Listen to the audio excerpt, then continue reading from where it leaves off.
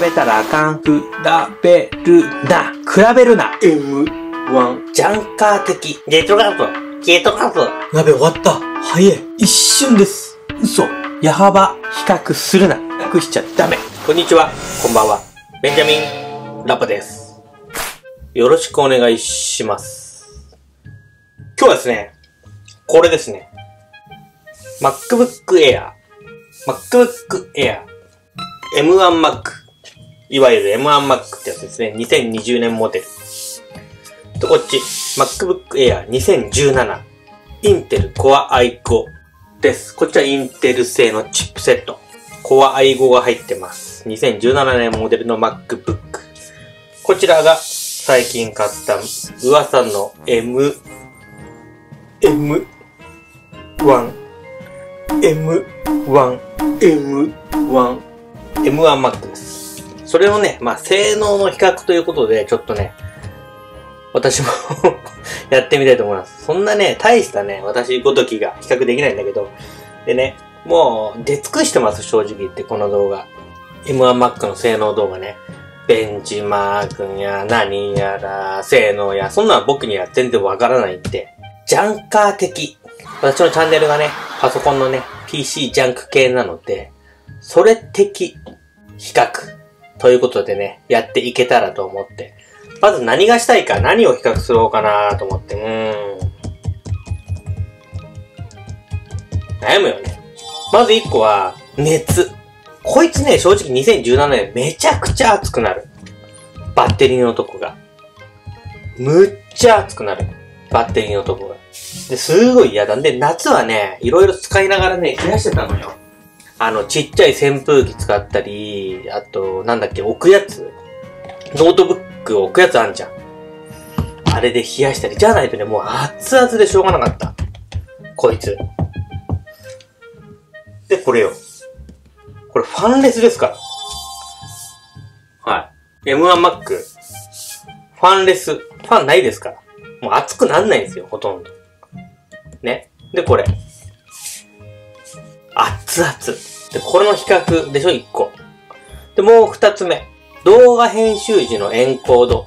私はファイナルカットプロを使ってます。それのファイナルカットプロ入れてて、ファイナルカットプロ。同じね、同じ動画のエンコードが何分ぐらいで終わるのか。ってことを調べて、でもね、これね、正直私は気にならなかったんですよね。正直な話言うと。エンコードの時間ってだってさ、暇な時にポチってやんないはい、エンコード、エンコードって。で、そっからお風呂入ればさ、そんな20分、30分経ったら絶対エンコード終わってるわけ。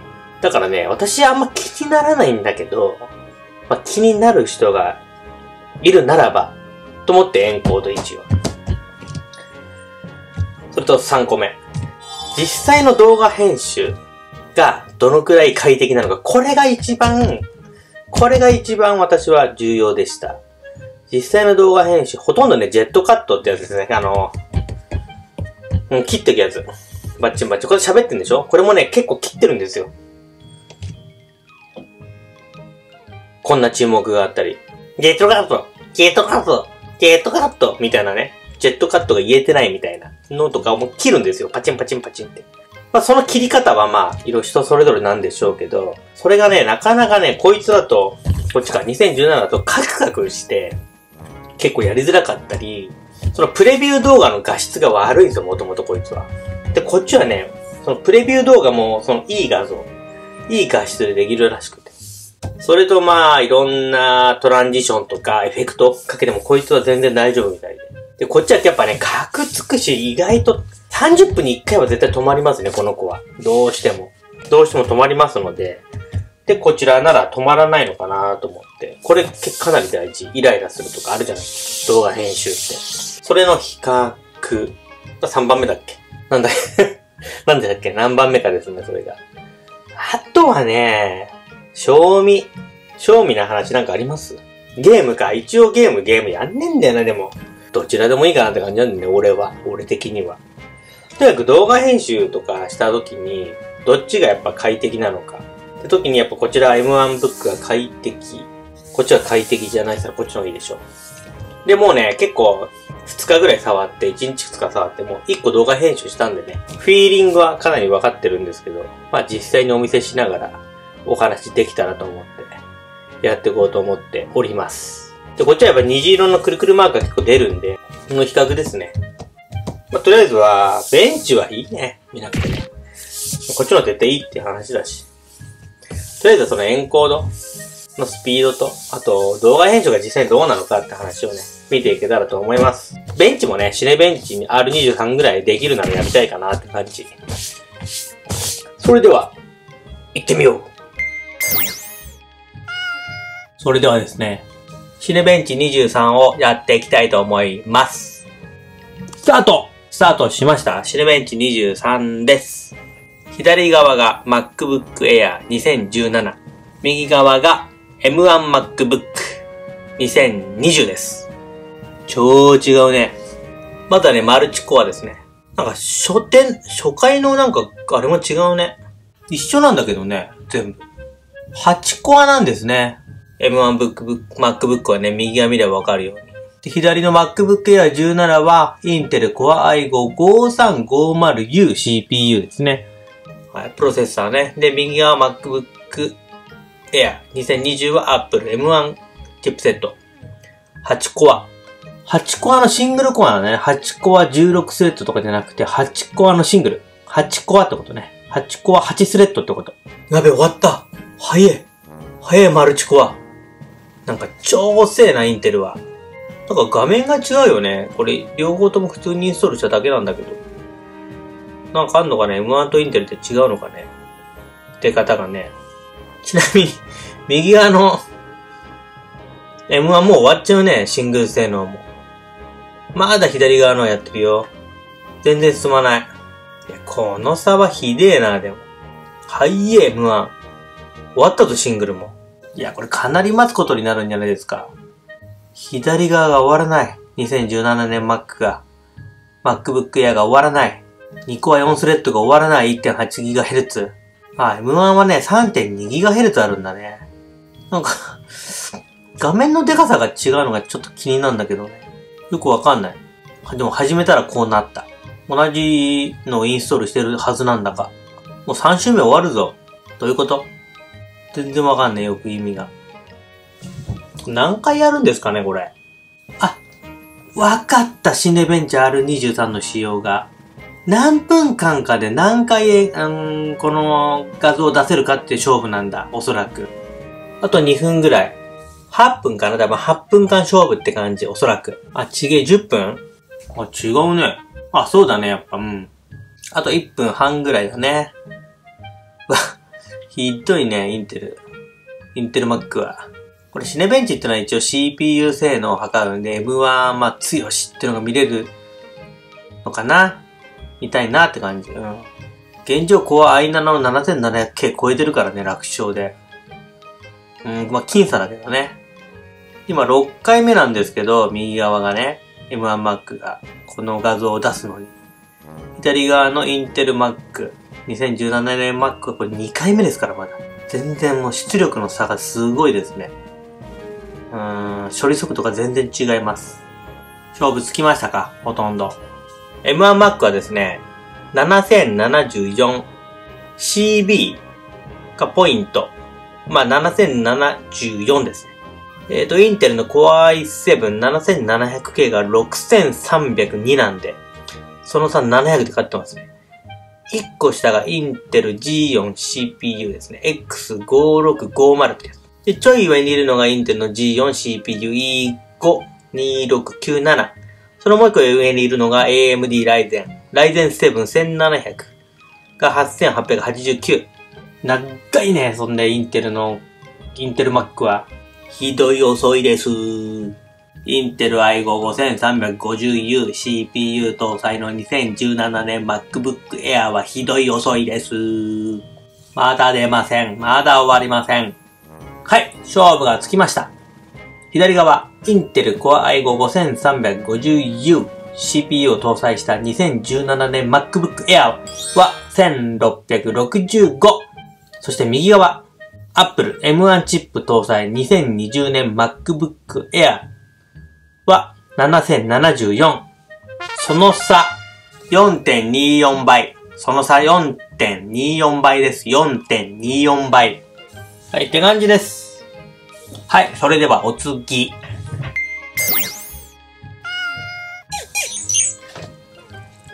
次はですね、動画のエンコードですね。はい。こちらのね、ハードオフ、巡ってきた時の動画。そんなね、いろんなね、そんないろんなエフェクトが入っているような動画ではありません。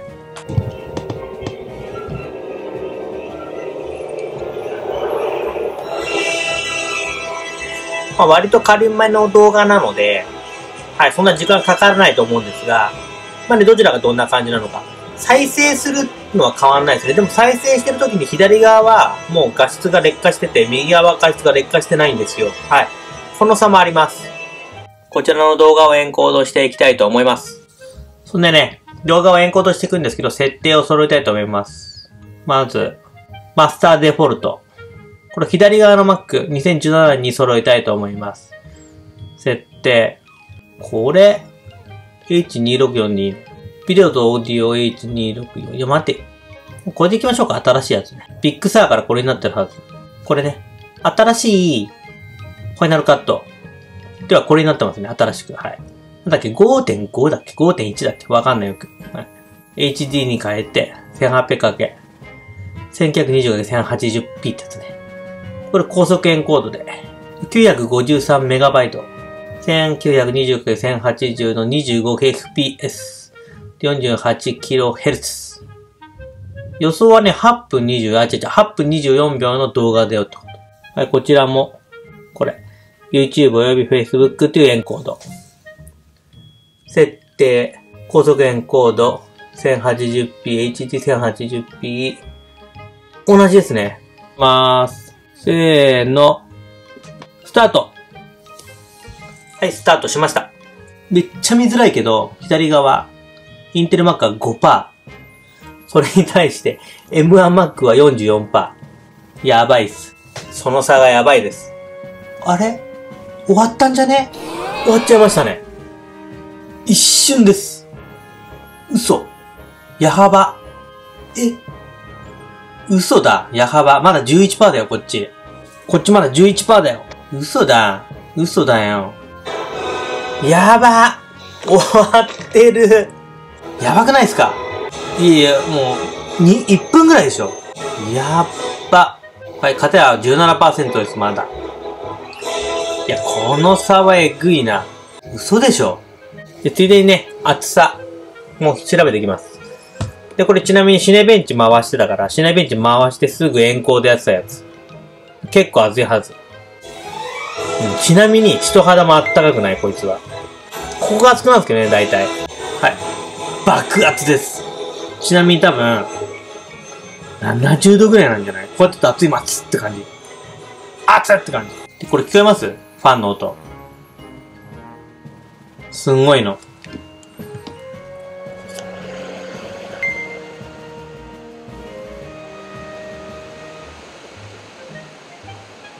聞こえます？ファンの音。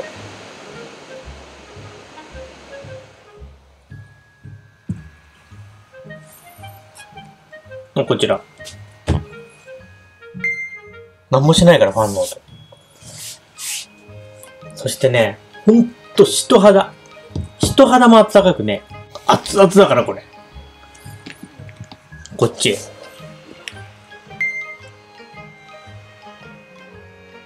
ね。そのくせまだ26%。